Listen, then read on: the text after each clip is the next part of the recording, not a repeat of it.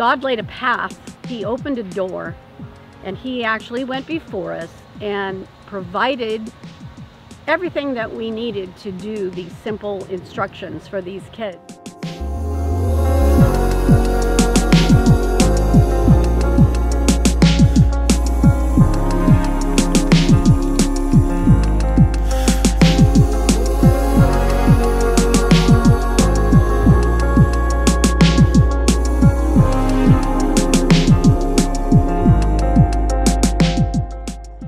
People from all over the world and they all met up in this jungle in Honduras.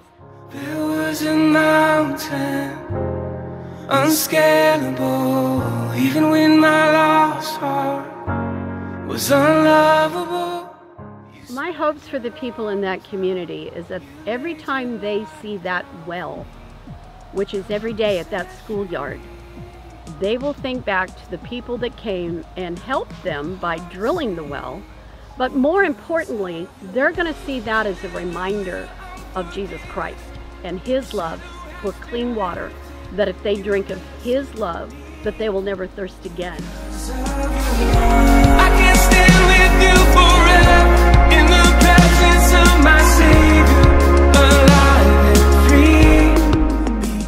They came to school every day and had to take a pill that would help kill parasites so that they could stay healthy. As a result of having a well there with fresh water, they don't have to take that pill every day. And in all likelihood, they're going to be a lot healthier, and the families are going to be a lot healthier too.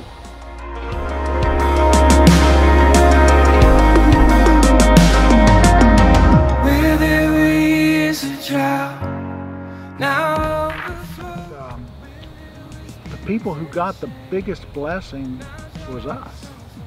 And what I learned is that it's not what you have, it's the, the heart that you have, uh, the heart that you have to enjoy the things you do have. And these people uh, were happy as they could be.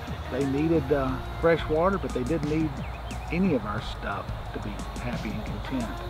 And uh, I think we could learn a lot from them.